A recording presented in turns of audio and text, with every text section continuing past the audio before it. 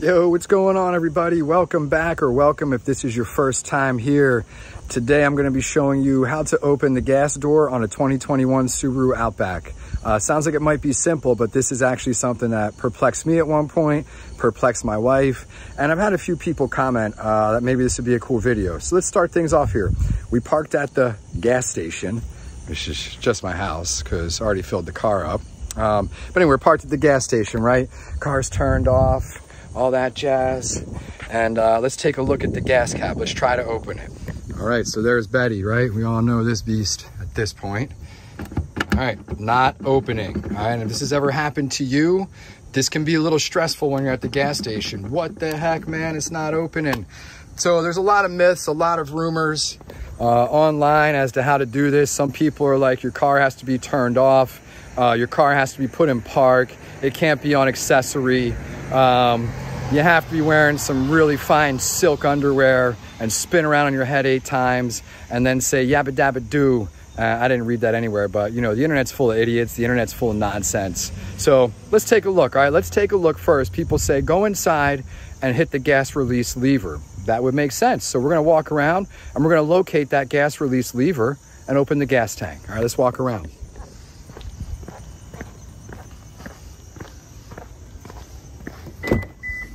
Right, car's open. We just heard it unlock.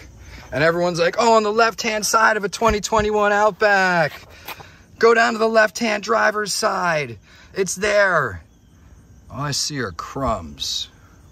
Go, on, it's on the left-hand side, everywhere, every forum, a 2021 Outback will have it here. Yeah, no. All right, there's no gas release. There's the elusive trip odometer though. Check my other video out for that one. I know gas release lever. Okay, so let's do it back to how this was set up before. I'm gonna lock the car. And notice I have the keyless start version. All right, I've just locked the car. We're gonna go back around, opens. I have locked the car again. All right, so that didn't do it. I mean, it's not opening now, right? Car's turned off, doors are locked. Man, I, am not gonna jump on my head and do anything silly, but let's try something here. I have an idea. What if I hit the unlock? Now listen, if you're standing near the gas tank, you could hear something moving here. Holy smokes. So let's take a look at this, all right? We're gonna look for a little locking mechanism here when I hit lock, because I'm starting to think that maybe this is what does it right there. All right, so check it out. I'm gonna hit unlock, takes it away. I hit lock, comes out. Look at your gas cap door.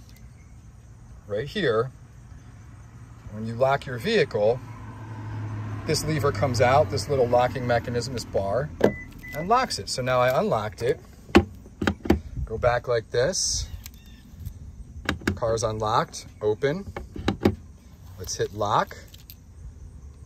Okay, you can hear it. You can hear it moving in here. Secure. All right, so let's wrap this up.